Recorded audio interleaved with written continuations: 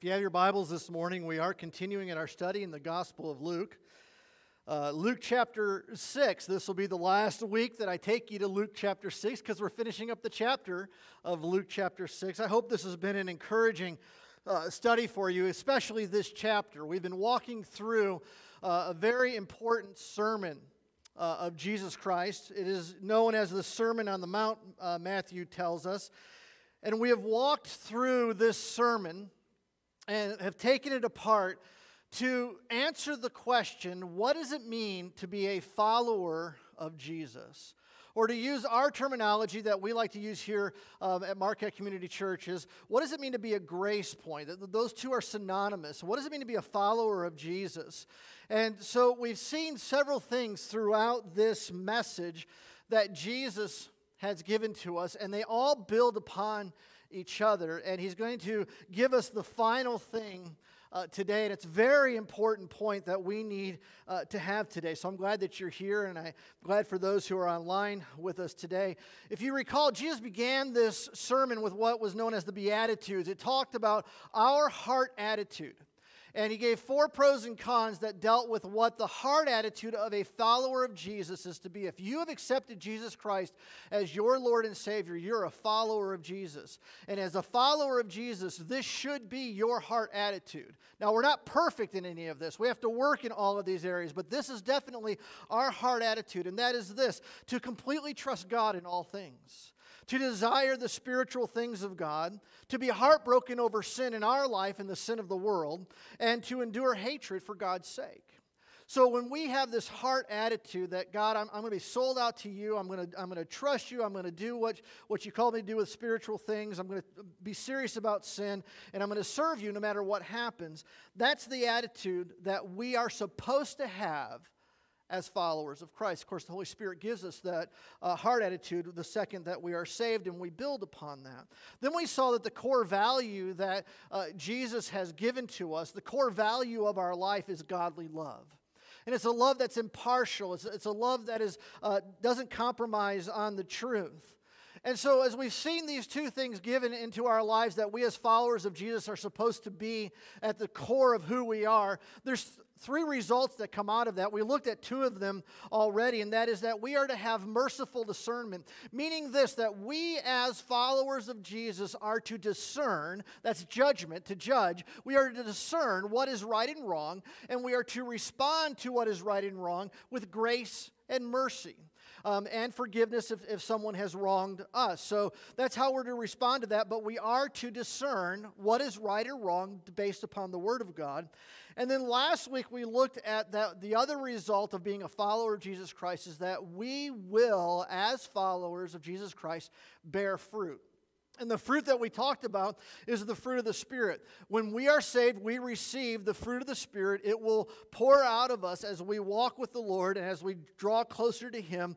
And we are to see the evidences of that fruit in our lives. As a genuine follower of Jesus Christ, these things will be at the core of who we are, and these things will take place in our lives. And so Jesus now brings us to the third result. And it's very important because really Jesus comes now towards the end and he lays a foundation, and you'll see that even literally in what he's going to show us here, that really brings us to the how all of this works together and is fulfilled in our lives as followers of Jesus. Let me ask you this question though. Do you like to be successful? Do you? I have never met anyone who has said, I want to fail at everything I do in my life. I've never found anybody to say that. I found people that have accomplished that, but, but I've never found anybody to actually uh, say that in their life. All of us want to succeed, and I hope you desire to be successful in your life. But let me ask you have you ever had this scenario happen in your life, this, this situation? Now, here's the truth of the matter every single one of us has expertise in certain areas of our lives. There are things that you are good at, things that I'm good at, things that we would fall into the category of having expertise in, right? And so, let's say you have expertise in being uh, in mechanics and fixing mechanical things or cars or whatever, and you hear your friend talking. And when you hear your friend talking, he's talking about a mechanical problem that he has, and you have already fixed that type of mechanical problem uh, in a car. And so you know how to fix that, you know what it is, and as he's talking about it, you actually have the skill and the expertise to help him to fix that faster than what he ever thought he could and cheaper than he ever thought he could.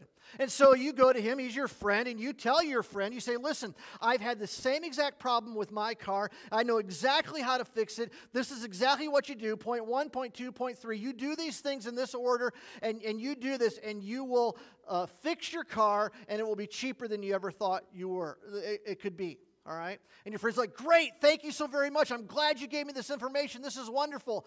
And then you check with your friend the next week and you find out that your friend did nothing you told him. Have you ever had an experience like that? You gave him everything he needed to have, and he did nothing you told him. As a matter of fact, he made the problem 10 times worse. It's going to cost him three times more to get it fixed, and it's bigger than what he ever imagined. Have you ever just, eh, whatever circumstance that's in, have you ever given some advice, some expertise to someone that you knew would help them, and they didn't follow it at all?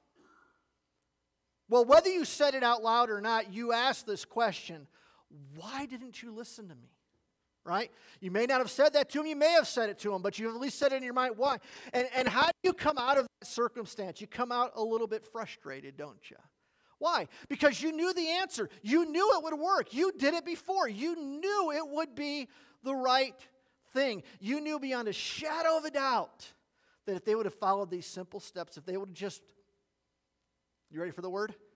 Obeyed they would have just obeyed what I told them. You ever think the Lord feels that way?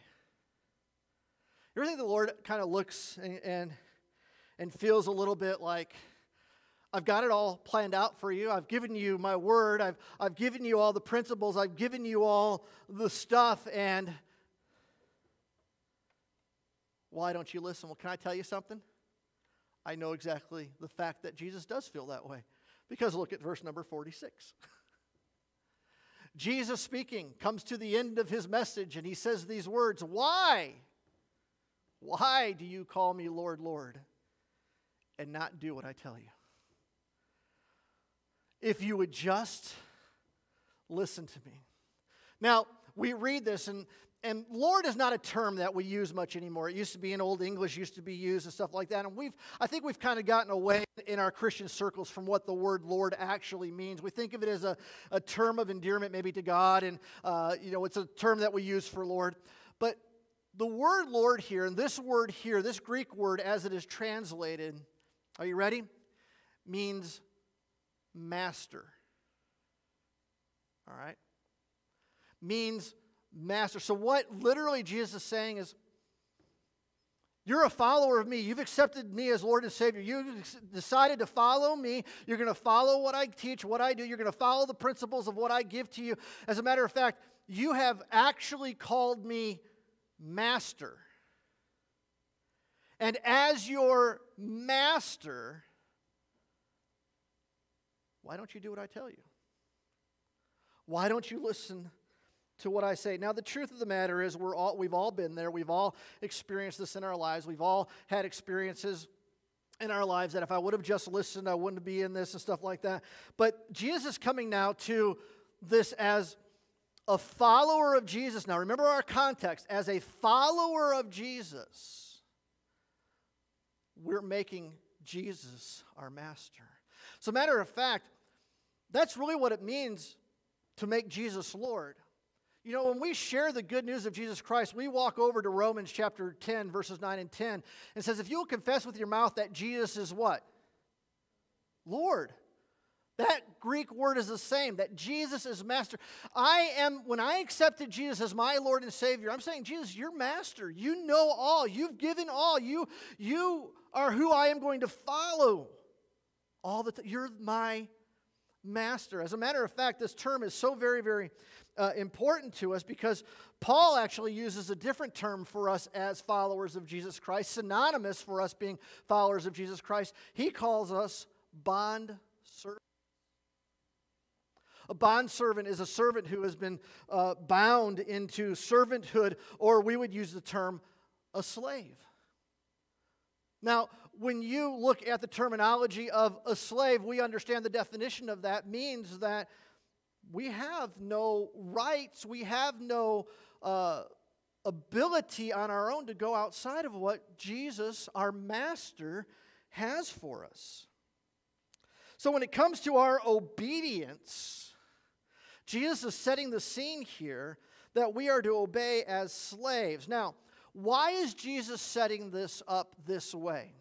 The reason why he's setting this up is not because Jesus wants to lord it over you, which he has the right to do, doesn't he? He is the master of the universe. He has the right to say, Listen, I, you will do what I say. I will make you do what I say. But Jesus doesn't do that. Jesus says, I am master, and I want you to do what I say. I'm not going to force you, but I'm telling you the best thing for you to do is to obey because what I know and what I have is what is best for your life. Not only is Jesus our master, but we also have a heavenly Father who loves us with so much grace, mercy. And what he's saying here is that when we follow what Jesus has, when we are obedient to what Jesus has given to us, when we are obedient to the Word of God and we follow the principles uh, that is given to us, the outcome for us is this is positive. Now, it doesn't mean all of our circumstances will be positive. How many of you have obeyed the Lord, but the world has come against you because of it, right? We experience that.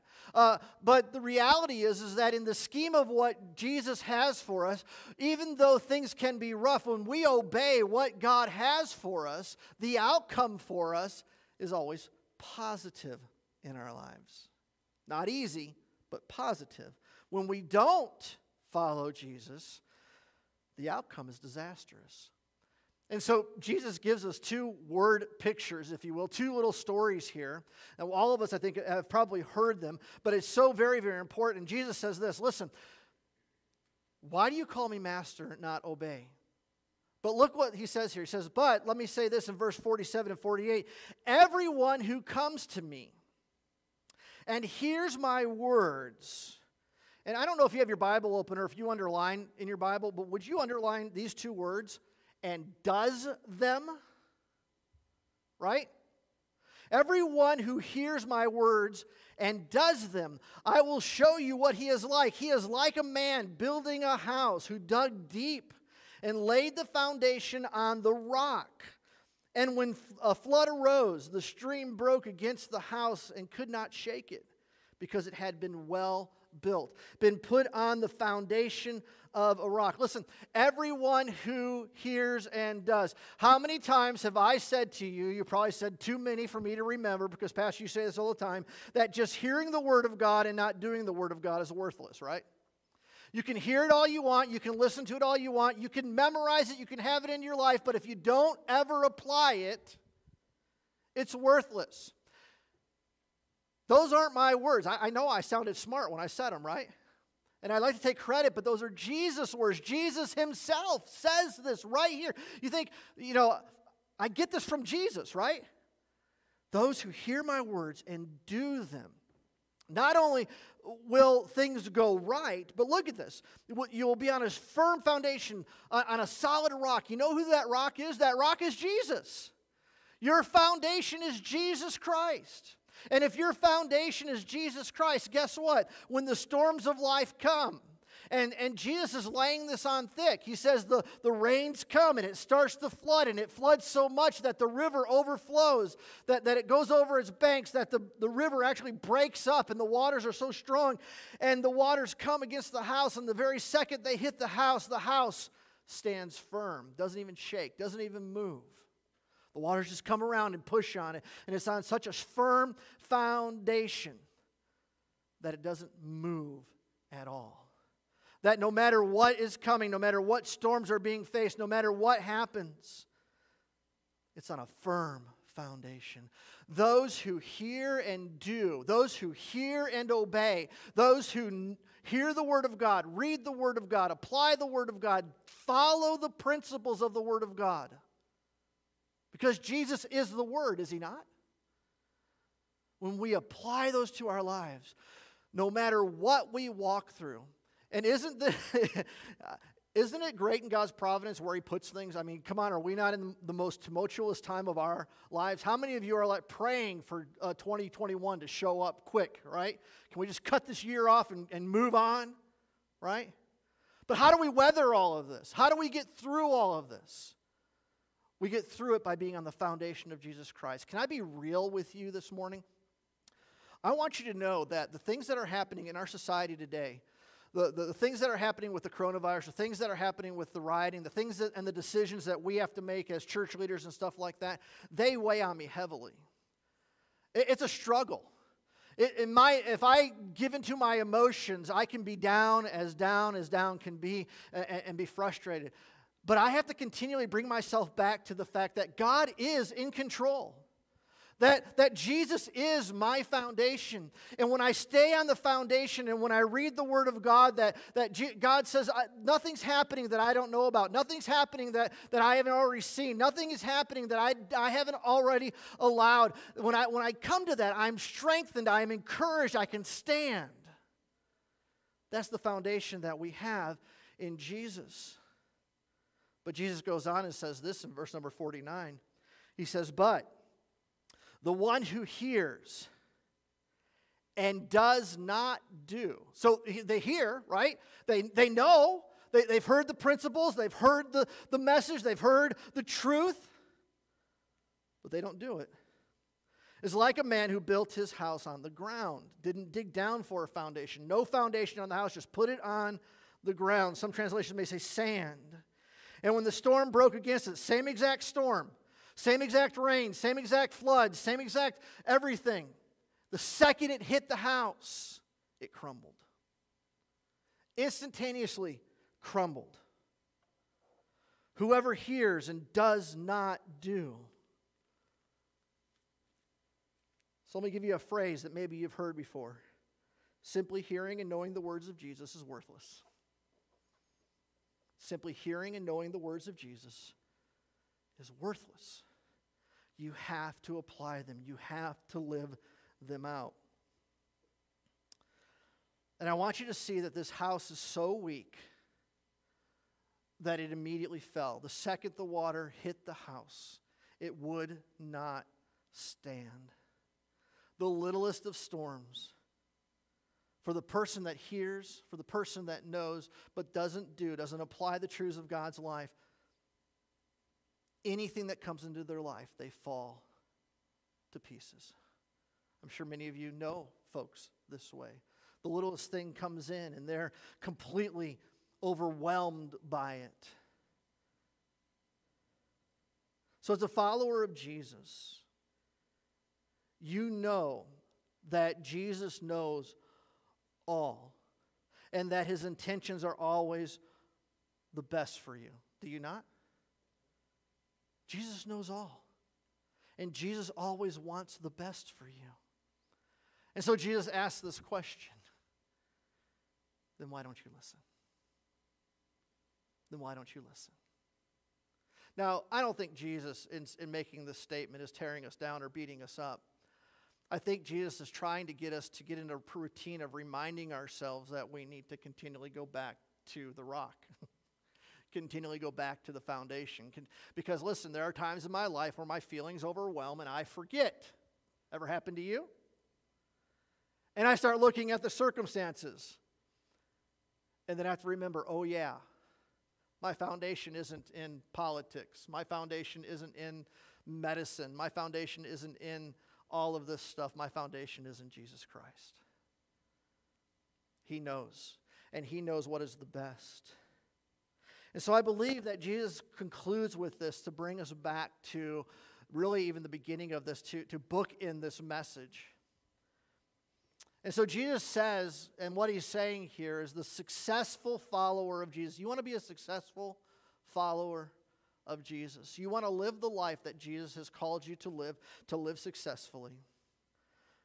That in order for you to be a successful follower of Jesus, you have to have the right attitude, that you're going to trust God desire spiritual things, be heartbroken over sin, endure hatred for God's sake, that you're going to have a love that is above and beyond what the world has, this godly love. That you're going to determine what is right or wrong through God's word to show grace, mercy, and forgiveness, that you're going to bear the fruit of the Spirit, and that you're going to obey the Lord in everything you do. And the person that does that continually strives in that, continually comes back to that. We'll waver, we'll sin, we'll get away at times in this life because we live in this body of flesh, but every time we come, get up and every time we come back, we're successful. We're successful. As we continue to walk in this, we are successful. Years ago, a farmer owned land along the Atlantic seacoast. He constantly advertised for hired hands, but most people were reluctant to work on the farm along the Atlantic. They dreaded the awful storms that raged across the Atlantic, wreaking havoc on the buildings and the crops. And so, as the farmer interviewed applicants for the job, he received a steady stream of refusals until one day a short, thin man, well past middle age, approached the farmer. And the farmer asked him, Are you a good farmhand? And he, the, he, asked, uh, he answered him, Well, I can sleep when the wind blows. Although puzzled by the answer, the farmer, desperate for help, hired him. And the little man worked well around the farm, busy from dawn to dusk, and the farmer felt satisfied with the man's work. And then one night, the storm came. The winds started to blow from off the shore. And one of those storms was coming off the Atlantic Ocean and jumping out of bed. The farmer grabbed the lantern and rushed next door to the hired hand sleeping quarters and he shook the little man and yelled, Get up! The storm is coming. We have to tie down uh, before everything is blown away. and the little man just looked at him, rolled over, and firmly said, No, sir. I told you, I can sleep when the wind blows. The farm uh, man was so enraged. He's like, I was, I, I, I, he was tempted to fire him on the spot. Instead, he hurried out to prepare for the storm, and to his amazement, he discovered that all the haystacks had been covered with tarps. The cows were in the barn, the chickens were in the coop, the doors were barred, the shutters were tightly secured. Everything was tied down, and nothing could blow away. And the farmer then understood what his hired hand meant when he said that he could sleep when the wind blows and returned to bed to also sleep while the wind blew. Can you sleep when the wind blows? When you live in obedience to Jesus, you'll experience great success in your life as his follower. And when the storms of life come, you will weather them victoriously. So, can I leave you with this last statement? Obedience to Jesus always brings success. Always. And as a follower of Jesus, as a follower of Jesus, we need to have the right heart attitude. We need to have the core value. We need to determine what is right and wrong. We need to bear fruit, and we need to live in obedience. And when we do that, church, when we do that, we will be the followers of Jesus that God has called us to be, and we will be successful. Will you stand with me in God's house today?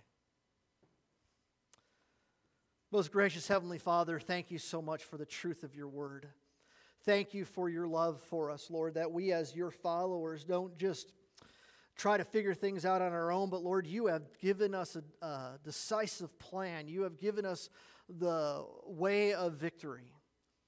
And Lord, I pray that uh, even though we in this body of flesh will get into sin, we will walk away, but we will always come back we will always come back to these truths and we'll always come back to obedience. And Lord, would you make us successful, we pray, for your honor, for your glory, and for your kingdom. We ask this all in Jesus' holy name. Amen. Lord bless you. Enjoy the rest of your holiday weekend. You're dismissed. And you can make noise, you can talk.